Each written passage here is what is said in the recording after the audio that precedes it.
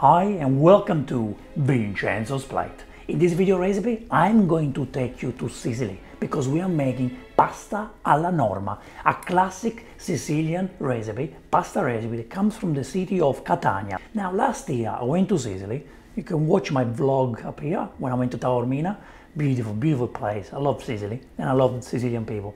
Um, when I went there, when I, while I was there, I was on a mission to find the best pasta alla norma recipe because pasta alla norma, it's uh, eggplant, eggplant pasta, vegetarian, simple, uh, but extremely delicious. I, I, just went to different places just to try, not, not to get a whole plate, but I had to try and make sure I got the right, the right recipe.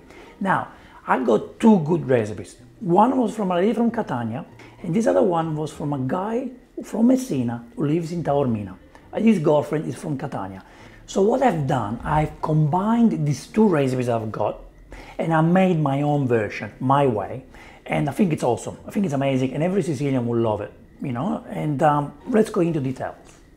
First thing to do is to fry the eggplants. And we want to cut the eggplant just out, like that. So cut the top part, cut into rounds, and then what we do, we put one on top of each other and we make, we make strips, eggplant strips.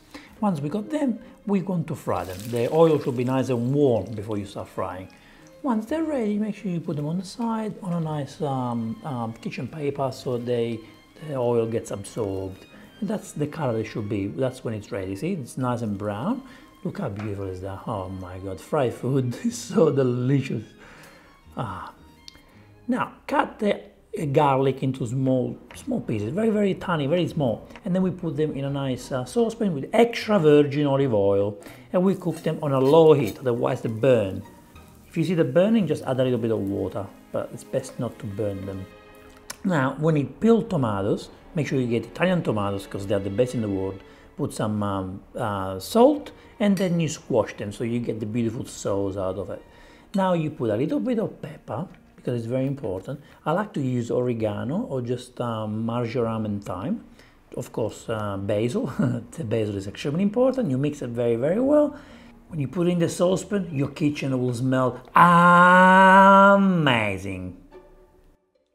The reason why I use casarecce is because the original Sicilian recipe is maccheroncini. Over the years, people have been using rigatoni and penne, especially if you're not in Sicily, if you're outside Sicily, not easy to find maccheroncini. But guys, casarecce are the closest thing to maccheroncini. So just make sure you make it with this pasta and you will be right in Sicily. Now it's time to cook the pasta, so we boil the pasta in a large pot full of water and you add sea salt or rock salt. Now the tomato sauce is ready, so make sure you keep cooking it on a low heat, otherwise you burn it. Before we put the pasta in, you want to use the eggplant. Not all of them, because we need some for decoration at the end. So I like to put eggplant first to mix it with the tomato sauce. And what I also like to do, which is my touch, I like to put the ricotta salata a little bit in the sauce. You should go just at the end in the original recipes, but I like to put some in the sauce just to give the extra taste. And I love cheese. Do you love cheese? Make sure you write a comment below and let me know what you think. Now, look at this beautiful pasta. Look how beautiful it is. You mix it very well. You want every single pasta to have the tomato sauce on it.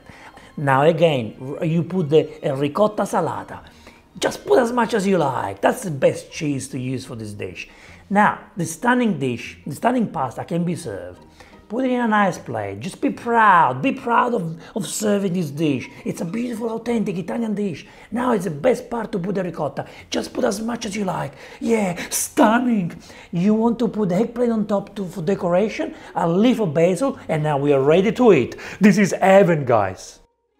If you have never been to Sicily, make sure you go.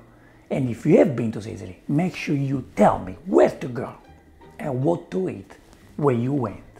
Apparently this pasta was created, was dedicated to an opera called Norma. Guys, uh, there's no need for me to comment. Look at that. I just need your comment to tell me how amazing, how amazing this pasta is. This is the best pasta alla norma you ever seen in your life. Now, I'm going to eat. Thank you very much for watching this show. Make sure you subscribe. Make sure you write a comment below, like my video and check out my website because all my recipes are there. Written recipes with beautiful photos I'm so passionate about photos, so make sure, go and check it out. Time for me to eat. I will see you in the next Vincenzo's Plate video recipe. E ora si mangia. Vincenzo's Plate. Mm. Mm.